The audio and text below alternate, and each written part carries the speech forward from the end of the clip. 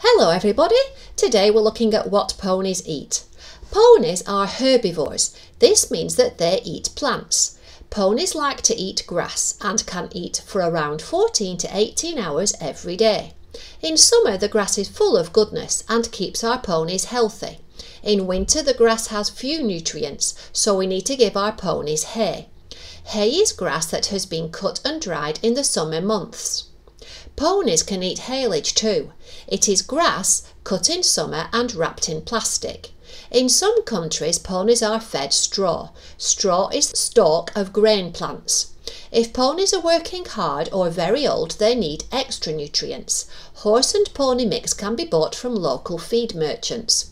The mix may contain things like oats, barley, maize, peas, alfalfa, chaff, bran, vitamins, and minerals. If our ponies are in the stable, it is important to make sure our ponies are fed regularly, like they would eat regularly in the field. Feeding buckets should be kept clean.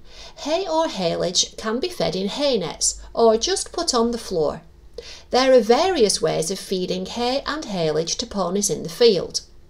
Look after your ponies and your ponies will look after you. Bye for now. Crafty Pony.